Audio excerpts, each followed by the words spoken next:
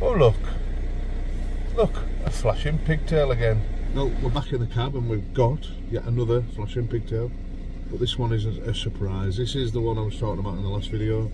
Um, the auxiliary pump for the EGR, the EGR recirculating pump.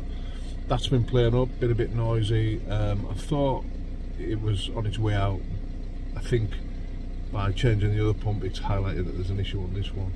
So yeah, probably check it out on the on the reader and we'll see what comes back. There you go in the pending codes, it's P261A and when you search that it comes back with the recirculating pump, um, the auxiliary pump, B pump, whatever you want to call it, EGR cooling pump. We've got one. We're going to fit that tonight. But I'll uh, I'll show you where it is on the van. I'll show you what I'm going to do first before we actually fit this. We're going to plug it in and make sure it actually works.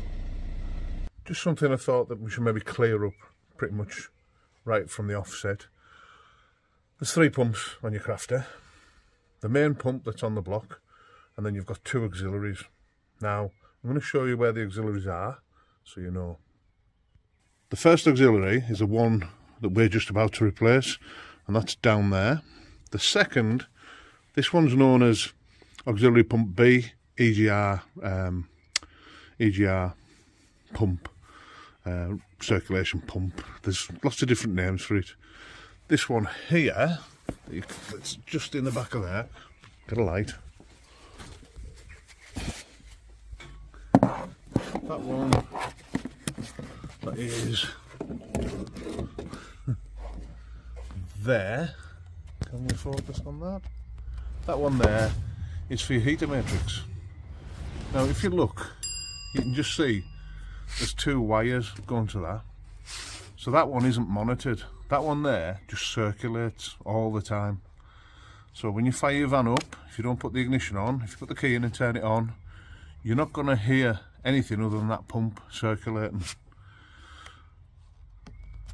The one that's down here the most important one of the two auxiliary pumps I would say. This one does monitor and this is where you'll get the fault and on the plug there are three cables. That's how we know it's monitored and when you get a, an engine fault code back that is the one that it's talking about. That is the one that's communicating with the ECU. So that's the one you want to change.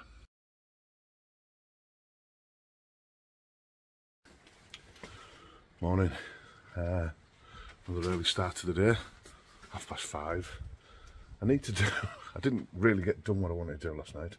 I still need to check this new pump, make sure that's working. Um, so before I go to work, I'm just going to disconnect the, um, the plug, plug it into the pump, make sure it clears a fault. I'm off to the Overland Show tomorrow. Um, I'm leaving everything quite quite close to the wire. So for peace of mind today, I just want to know that this clears a fault. When I go from work tonight, I'll swap it all out. But um, just going to remove the water bottle, get that out of the way, um, so we can see what we're doing, and that'll also help us later when we when we purge the system of air.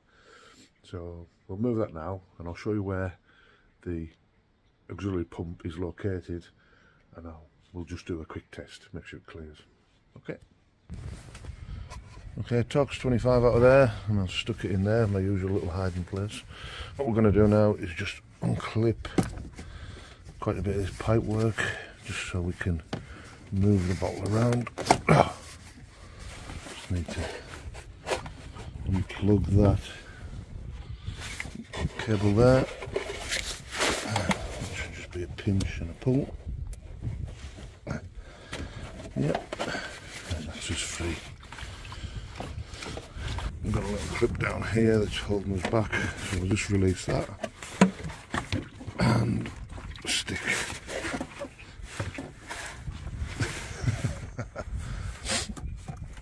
yeah, the joys of trying to video and work at the same time. That will do us for now, I think. So that allows us to see the pump. The pump is there this is the plug we need off now. Um, how the hell do we get that plug off? So it was a little bit stuck. Um, what you're going to do is get that grey clip pulled back and then it pops off. Right, now we're in this position. Let's stick the new pump on. Prise off. Pop that in there as well. Right, can I get that? Let's get that out there. Can I get a better look at that now? Plug that in there like that. Sugar, sugar, sugar, sugar. Dropped it.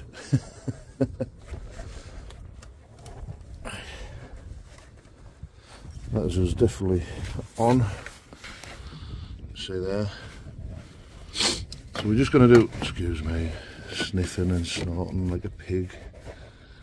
So we just want to sit that somewhere comfortable. So we'll just leave it there for now. Can see. We'll leave it there. Go and check the ignition. Right, moment of truth. Click that on. Remember we had a, a pigtail. it's gone off. It's gone off. Right. Obviously, I don't want to start it up yet because things aren't connected up. Well, I can, I think. there you go, there you go, there you go. So nothing there. Let's check this. Come on, come on, come on, come on. Faster, faster, faster. right. Let's go to there. Read codes. Store codes. Nothing. Pending. Um. So we need to clear that, don't we? Let's go back. There is good.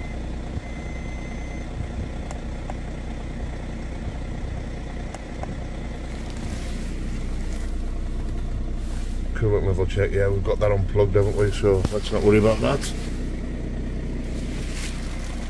So erase codes.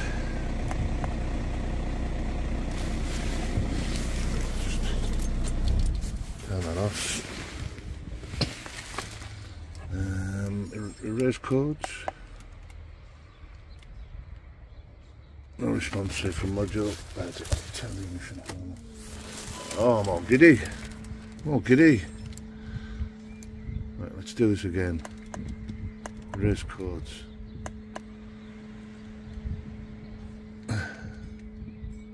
Yeah, it, it says that quite a lot, doesn't it?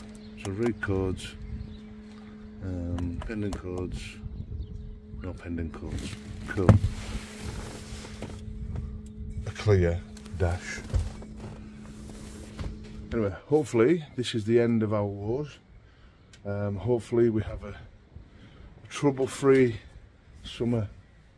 We've done all the graft, we've done all the donkey work, we've got it.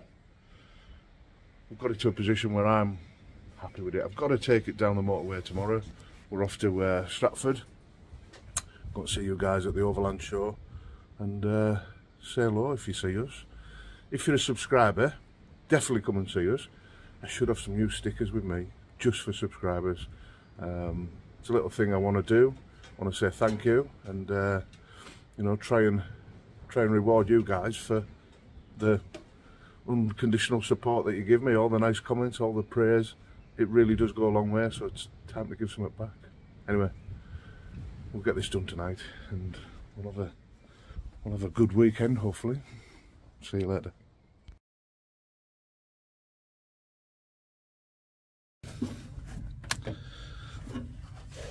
Okay, let's get these pipes off if I can.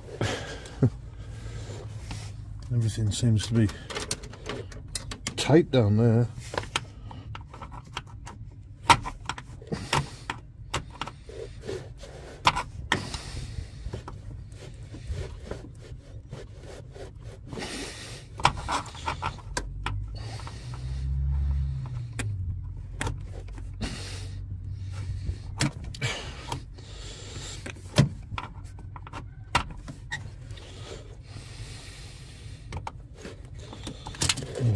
Moved that top one up. That should be enough for us to get where we need to be. So there's three screws um, they're located there there and there. They're quite they look like little Torx I'm gonna have a look at that one as well because this bracket looks like it's all pushed over. So this is a T20 my stool slipped I don't want to take that all the way out I just want to see if it moves that bracket back over it does look it all looks to be it looks bent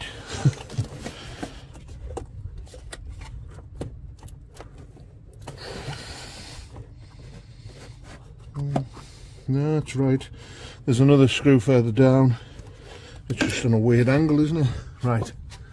Let's see if these are T20s as well. No, they're much smaller. Right, they are T10s. So,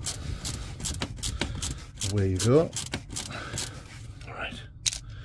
There we go. Free, it's off. Cool. Right, we've got it free now. All we have to do now is uh, unfree these pipes. We need to release these pipes off and usually they end up welding themselves to each other. So I got a little pick and tool, um, an engineer's scribe, whatever you want to call this. Uh, I try and work my way underneath and just round to try and free things off. I'm going to drop a little bit of fluid, but um, I wouldn't expect it to be too much, to be honest.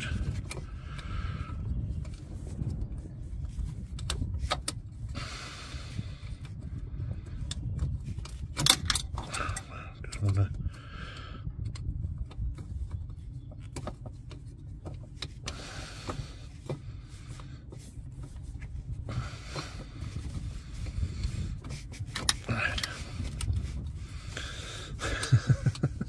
I'm making this look difficult, aren't I? Right, that's that one done, I would say. This one here, we're going to struggle with, I think, because it's very close to the body. I might just have to work that one off. Try and free it up a little bit. Yeah, that's moving. That's moving well, that.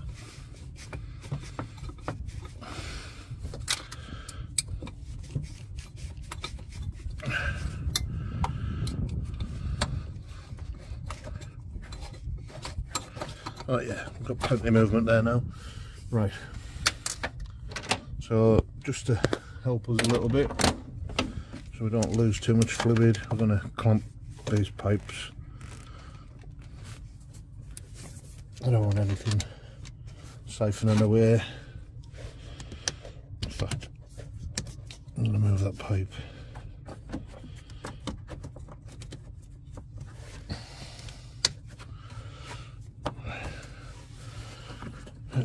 Go, try and get these separated.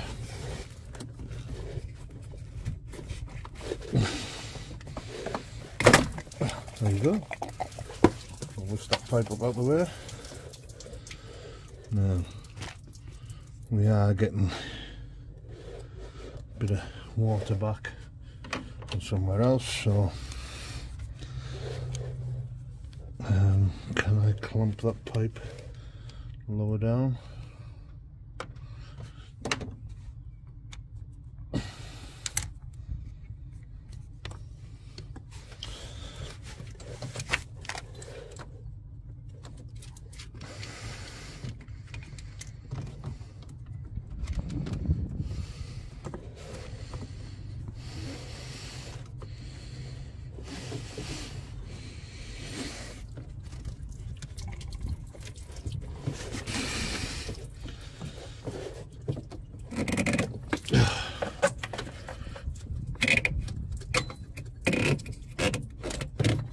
There you go, that's that one off.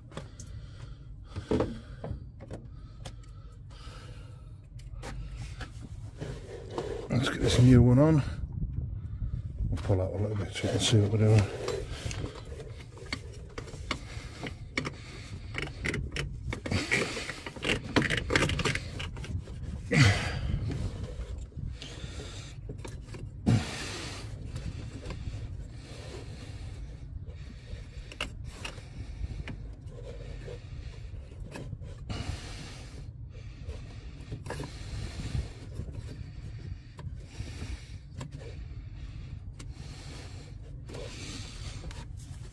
Get that pipe on properly.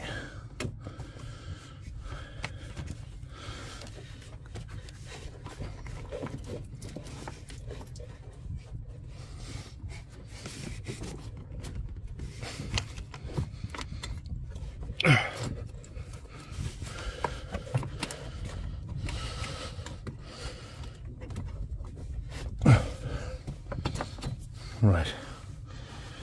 So that's that. Let's keep these two cables out of the way for now. Right, what we need to do now is just line this pump back up and then start bolting it all back up again. I just want to make sure I've got everything in the right place. I think I need to just twist that a little bit further.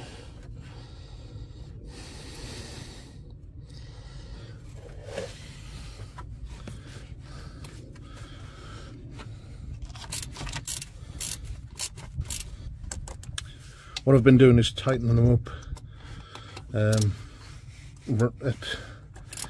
a little bit at a time so I don't end up pulling or cross threading if or damaging the pump housing when I'm putting it all together. So we're nearly there now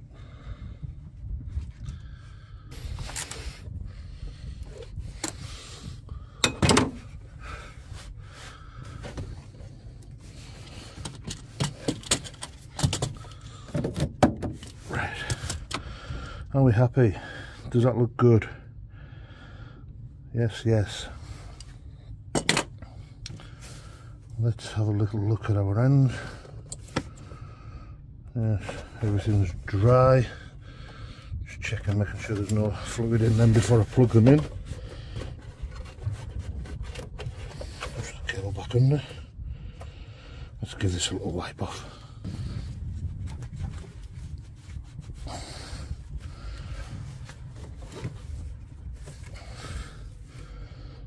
nice and clean.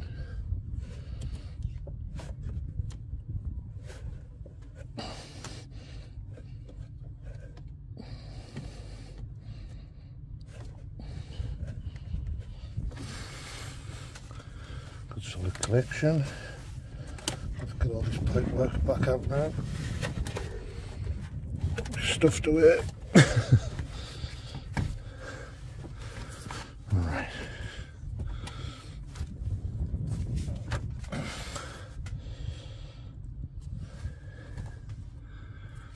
Okay. Time to start putting everything back together, I think.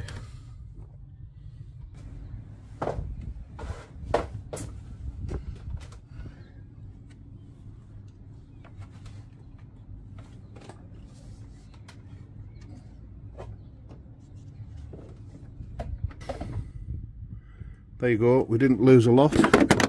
What if I just knocked off there? Not the old pump. Oh yeah, let's listen to this. Let me take those glasses off. And then,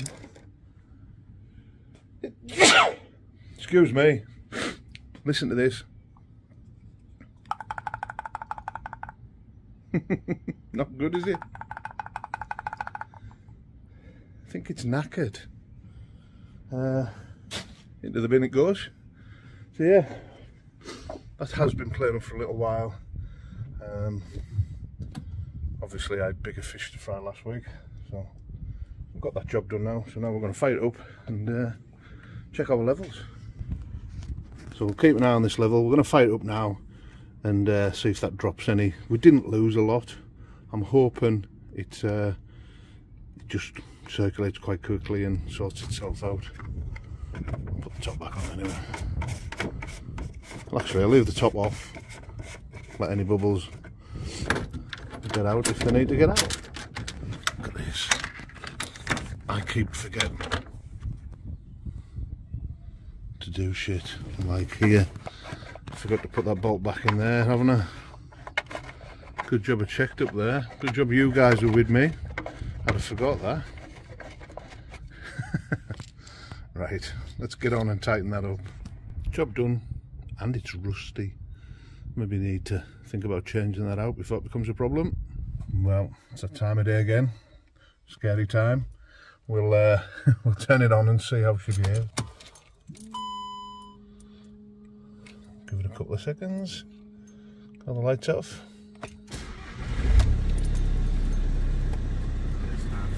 Oh yes.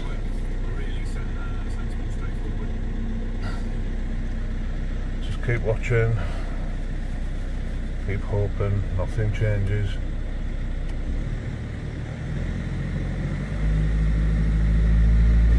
Fingers crossed. That's uh, that's us done. I need to go and wash my hands. Are covered in uh, covered in coolant. But I've just been talking to Richard um, from Rich B's Adventures. We're meeting up. Uh, there's a, quite a lot of us attending the uh, Overland and um, campervan international campervan show tomorrow at Stratford, and uh, this this is what I've been working towards. Um, I believe we're there now. I believe we've solved the problem. Um, still got that little seal to fit, but uh, I don't see that being a big problem tonight. It's a 10 minute job, so we'll get that done, get that out of the way, and we're all hunky dory. But uh, it's a bit of a relief it's nice to have no lights on that dashboard. You know, the last couple of videos have really pushed me. Um, really pushed us to the limit, to be honest. Um, but we're fixed, we're back on the road. Now we need to get some miles under our belt. Anyway, that's us. Let's go and check this, uh, check the fluid, let it warm up, and uh, we'll check the fluid levels. So while we're in here, I'm going to swap out this uh, heat recirculating pump. It was making a, a noise the other day. Um, it's been noisy for a little while, so while I'm doing work on the engine, I thought I'd swap it out. So I've got a new one here. We just clamped the two pipes. We've moved the clips back, so I'm just going to swap that out quickly now, and we'll fire it back up. See how it runs. So, so quiet.